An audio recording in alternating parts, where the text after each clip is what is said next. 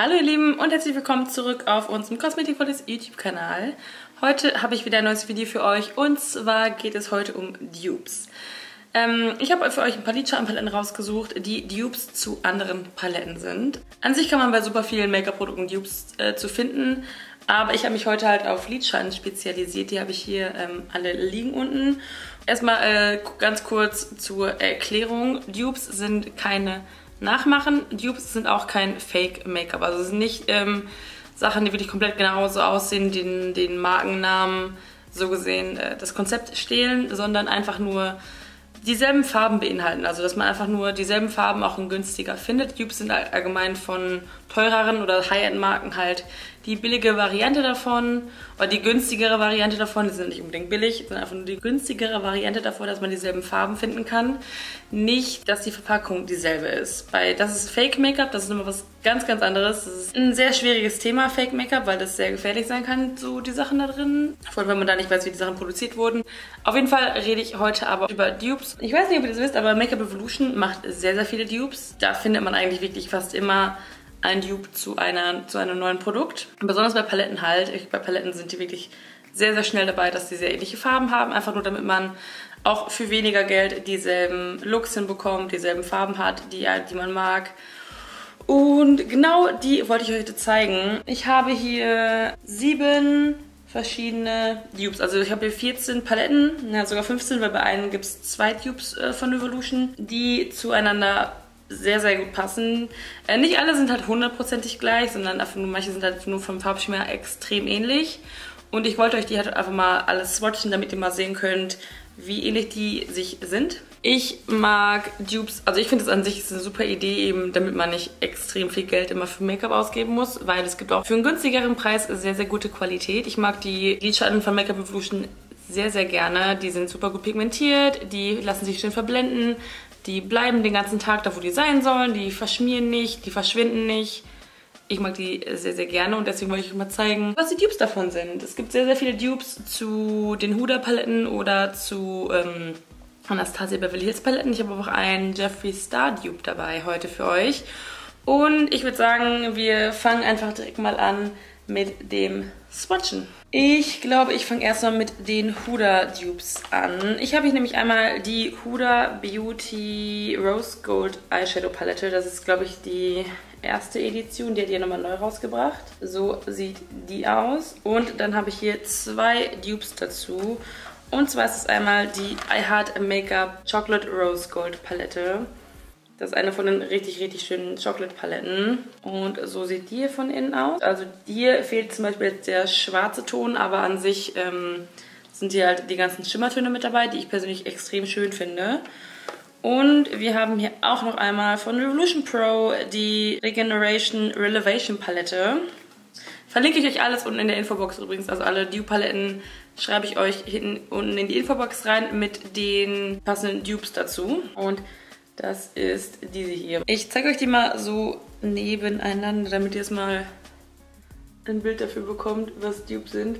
Hier hat äh, Revolution war schlau, sage ich jetzt mal, und hat einfach die Palette umgedreht und so sieht man, dass die wirklich super, super ähnlich sind. Die Farben sind sehr, sehr ähnlich. Und hier sind jetzt die Swatches von den drei Paletten. Ähm, ganz oben habe ich immer, eigentlich bei allen anderen Swatches auch, immer die Original, was heißt die Original? Die teurere Palette. Hier ist halt oben die Huda Beauty Rose Gold Palette. Darunter kommt die Revolution Pro Palette und ganz, ganz unten ist die Chocolate Palette. Wie man bei der Chocolate Palette sieht, das Schwarz fehlt halt bei der, aber sonst finde ich, äh, ist da wirklich fast kein Unterschied. Ich finde sogar bei der Revolution Pro Palette ist das Schwarz besser als bei der Huda Beauty Palette. Und ansonsten finde ich die wirklich extrem gleich. Die Schimmertöne sind richtig schön bei allen, die Mattentöne sind bei allen richtig schön. Und ja, ich finde, man sieht ganz sehr gut, dass es hier halt echt fast identische Farben einfach sind. Dann habe ich noch eine Huda-Palette und zwar die New Nude. Die sieht von außen so aus. Ich denke mal, ihr kennt die fast alle. Und das hier sind die Farben. Das sind halt richtig schöne Nude-Rosa Töne und vor allem ganz besonders daran sind halt Hier, die ist halt schon ein bisschen benutzt, die Palette jetzt, aber man sieht immer noch, dass diese, die Schimmertöne, die haben so äh, weiße Punkte da drin, die, sind, die sehen so marmoriert aus, also es wäre das, die Textur davon sieht halt super interessant aus. Und das ist bei dem Dupe dazu nämlich genauso. Und zwar von Revolution Pro die New Neutral Lux Shadow Palette.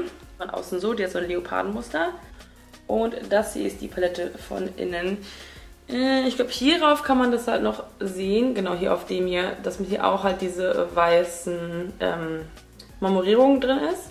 Und auch interessant bei den beiden Paletten, da ist unten in der Ecke ein Concealer oder so eine Lidschattenbase drin, je nachdem, wie man das benutzen möchte. Hier habe ich halt auch wieder oben die Huda Beauty New Nude Palette und unten drunter ist die Revolution Pro Palette. Bei denen haben jetzt nicht alle Farben hundertprozentig gepasst, deswegen habe ich halt wirklich nur jetzt die Farben geswatcht, die wirklich sehr, sehr gute Dupes zueinander waren, wirklich gepasst haben, perfekt. Und was ich ähm, hier auch nicht gemacht habe, ich habe den Concealer jetzt nicht geswatcht. Und, aber sonst sind die wirklich alle super gleich. Auch die Glitzertöne, ähm, die beiden recht mittig, sind richtig schön. Die Schimmertöne, wie man sieht, sind super schön und auch super gleich. Das sind nur an sich, die anderen Farben in den Paletten sind ein bisschen unterschiedlich zueinander, aber das waren wirklich die Farben, die wirklich fast hundertprozentig zueinander gepasst haben.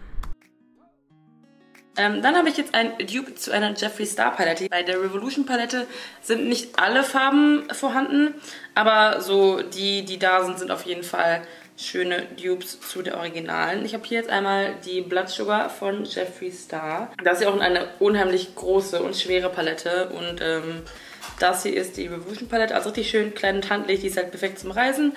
Die ist halt wirklich, sieht super gut aus, vor einem ähm, Schrank stehen, sieht die wunderschön aus. Ist auch sehr, sehr schön, ich mag die richtig gerne, aber ist halt groß und die hier wäre halt super zum Reisen, wenn man die Farben mag. Auf jeden Fall ist das hier die ähm, Jeffree Star Blood Sugar Palette. Hat also richtig schöne rot und neutrale Töne noch so dunklere lila Töne. Und das hier ist dann die Reloaded Red Alert Palette von Makeup Evolution. Wie man hier sehen kann, auch neutrale Töne dabei, ähm, rote Töne, pink, dieses weiß, dieses matte ist halt auch ähm, in der Blood Sugar mit drin. Finde ich auch sehr schön. Bei denen habe ich auch, wie bei den anderen wieder, ähm, oben die Jeffree Star, also oben die teurere Palette und unten ist die Revolution Palette. Und bei denen, ich finde vor allem das Weiß ist bei beiden sehr, sehr gut pigmentiert, was ich nicht gedacht hätte ähm, dass die beide so extrem gut pigmentiert sind, die weißen Töne. Finde ich sehr, sehr schön. Ähm, die Jeffree Star Palette hat ein paar mehr Farben wieder drin und die, ich habe jetzt wieder nur wieder die geswatcht. Das ist die ganze Revolution Palette, also unten ist wirklich die komplette Palette von Make-up Evolution, aber oben fehlen halt so ein paar von der Jeffree Star Palette, weil ich ja nur die äh, Dupes mache und nicht auch noch die anderen Palettenfarben, äh, die da nicht so hundertprozentig zupassen. Und jetzt kommen wir schon zu den Anastasia Beverly Hills Dupes. Anastasia Beverly Hills ist ja eine unheimlich äh, berühmte Marke, vor allem für die Lidschatten von denen. Und ich persönlich mag die auch sehr, sehr gerne. Aber meine gehen schon langsam dem Ende zu, manche Paletten von denen. Und mir ist es einfach zu teuer, die nachzukaufen, ehrlich gesagt. Ich liebe die, ich mag die richtig gerne. Aber ähm, wenn man die Farben halt in auch einer guten Qualität noch woanders bekommt, dann würde ich, glaube ich, eher für den Alltag auf jeden Fall da zu greifen, eben weil ich benutze sie gerne im Alltag und dann gehen die doch relativ schnell leer und das äh, ist nicht ganz so cool, wenn die schnell leer gehen, finde ich, wenn die eben, weil die ein bisschen teurer sind. Auf jeden Fall habe ich hier jetzt erstmal die Anastasia Beverly Hills Modern Renaissance Palette. Das ist die hier. Die, sieht, die hat so einen ähm, Stoff drumherum. Also sieht richtig schön aus, fühlt sich super gut an. Wird aber sehr schnell dreckig, wie man sieht. Also meine ist schon eine sehr mitgenommen aus. Die ist aber auch schon echt Jahre alt. Wie alt ist die? Vier, fünf Jahre, glaube ich, mittlerweile.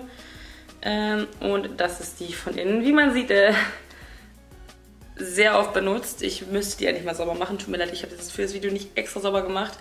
Auf jeden Fall ist das die hier mit diesen ähm, paar sehr neutralen Farben, dann eher diese bisschen rötlicheren Töne und so ein, ich glaube, der nur drei Schimmertöne auch mit drin. Genau, drei Schimmertöne, sonst aber sehr, sehr matt der Rest. Und der Dupe dazu ist dann die Reloaded Iconic Vitality Palette. Ich muss das mal aufkriegen. Die ähm, meisten Revolution Paletten habe ich jetzt halt neu, weil ich die halt noch nicht benutze, weil ich die Farben ja so gesehen zu Hause habe. Ich jetzt aber für den Alltag die hier benutzen möchte. Und zwar ist das die, wie man auch sieht, halt so neutrale Töne. Die ist halt anders aufgebaut und wie gesagt, das ist halt kein Fake davon, sondern die Farben sind einfach nur extrem ähnlich. Und ja, man hat halt die, diese roten Töne, die neutralen Töne, die Schimmertöne sind da mit da drin. Man hat hier sogar noch einen extra schwarz mit dabei, also ist halt sogar noch ein Ton mehr ähm, bei viele von den Revolution Paletten. Hier habe ich halt auch wieder oben die ABH Palette, also die Modern Renaissance und unten die Revolution Palette. Und bei denen war ich wirklich geschockt, bei allen Revolution Paletten, die jetzt kommen, ähm, wie sehr ähnlich die zu der originalen oder der teuren Palette sind. Also die Farben sind eins zu eins gleich tatsächlich meiner Meinung nach. Die Pigmentierung ist ein bisschen weniger bei Revolution. Man müsste die so ein bisschen mehr aufbauen, aber habe ich, finde ich, gar nicht schlimm, ehrlich gesagt. Weil das echt super, super gleich aussieht einfach. Und da bin ich echt äh, super zufrieden mit den Dupes davon. Dann habe ich äh, die Soft Glam von Anastasia Beverly Hills. Das ist halt auch einmal die hier. Auch wieder sehr, sehr neutrale Töne. Sehr viel braun, warmes braun, gold und auch mit einem Schwarz hier unten dieses Mal mit dabei. Und der Dupe dazu ist die Reloaded Velvet Rose Palette. Die habe ich schon benutzt, die mag ich auch sehr, sehr gerne. Ich weiß nicht, ob ich die in einem Video benutzt habe. Auf jeden Fall mag ich die richtig gerne. Habe ich jetzt noch nicht so oft benutzt, ähm, allgemein, weil ich halt viel Make-up hier habe und ich das rotiere das meiste, sehr, sehr oft das meiste. Auf jeden Fall ist das die, wie man sehen kann, auch wieder sehr, sehr ähnliche Farben, aber halt nicht äh, komplett kopiert. Hier ist es wieder wie eben, ähm, dass die wirklich super identisch aussehen, einfach die beiden Paletten. Die Soft Glam oben und die Revolution unten und ich sehe bei denen wirklich eigentlich gar keinen Unterschied. Die ersten beiden Töne sieht man, also die ganz rechts, sieht man jetzt nicht ganz so, weil es halt eher so hautfarbene Töne sind, die wirklich passend zu meiner Haut sind. Aber da ist auch noch Lidschatten, den sieht man nur auf dem Foto nicht, aber unheimlich gut von das Schwarz von Makeup Evolution ist super, super gut pigmentiert. Auch wieder ein wirklich perfektes Dupe.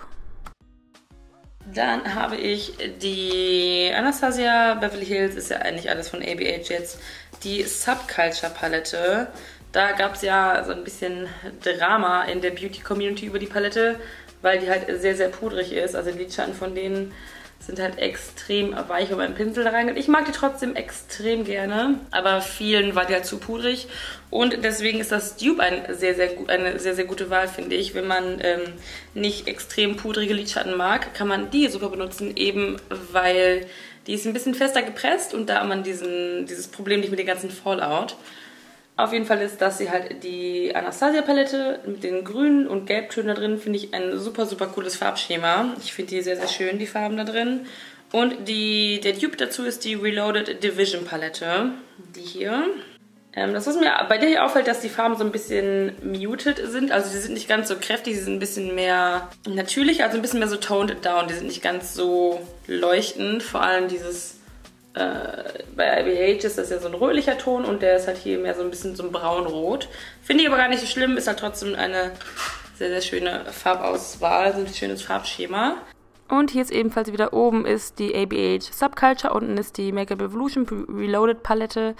Das ist die einzige Palette ähm, von Revolution, die nicht ganz so extrem pigmentiert ist wie die Original oder wie die teure Palette. Ähm, weil aber die von ABH halt super weich und super pudrig ist. Deswegen die besteht fast nur aus einfach nur purem Pigment, was da reingepresst wurde und was sehr, sehr weich gepresst wurde auch. Und die von Revolution ist halt diese normale Standard-Lidschattenformulierung, die etwas härter gepresst ist, die dadurch aber nicht ganz so stark pigmentiert ist. Aber mit der bekommt man trotzdem auf jeden Fall genau dieselben Looks wie mit der Subculture. Man müsste die halt nur eventuell ein bisschen mehr aufbauen. Aber das Farbschema ist einfach trotzdem dasselbe, was ich persönlich super, super gerne mag. Und das letzte Dupe ist dann von der ABH Sultry Palette.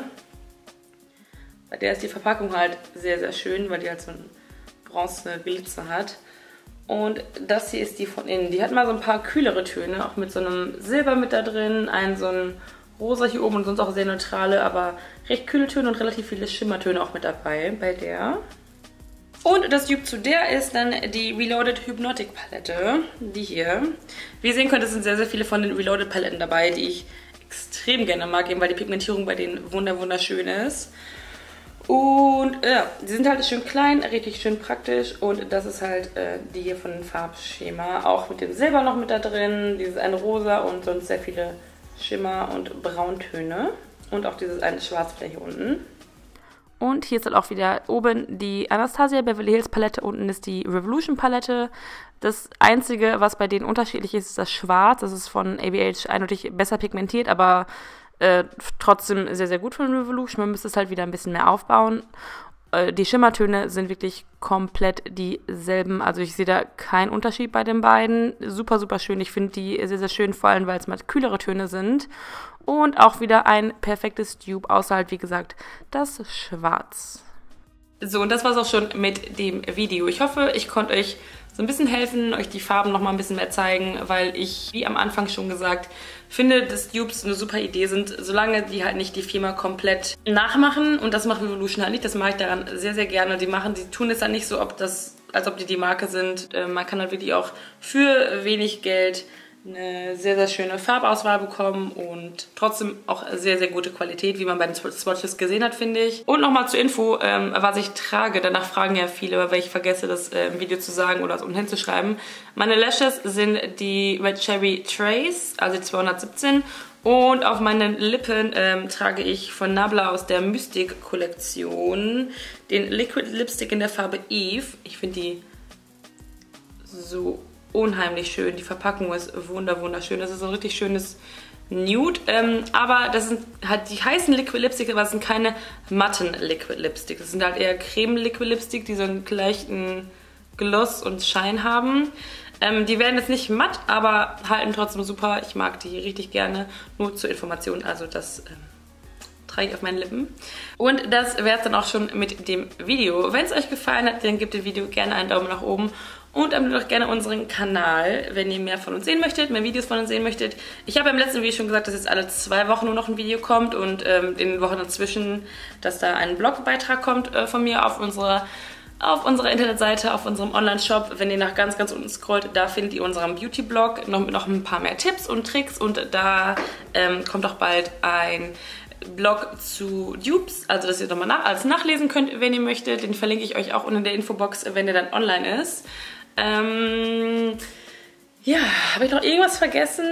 Ähm, wenn ihr irgendwelche Fragen habt zu den Paletten, zu den Dupes oder sowas, schreibt die gerne in die Kommentare. Ich verlinke euch aber auch alle Dupes von Evolution ähm, in der Infobox, dass ihr dann mal nachgucken könnt. Und allgemein unseren Online-Shop, wo ihr alle Sachen findet, auch die Lashes, die ich trage, den Lippenstift, den ich trage, ähm, findet ihr alles in der Infobox unten. Ich verlinke euch da. Ich versuche auf jeden Fall immer alles da zu verlinken. Und wir sehen uns dann beim nächsten Video.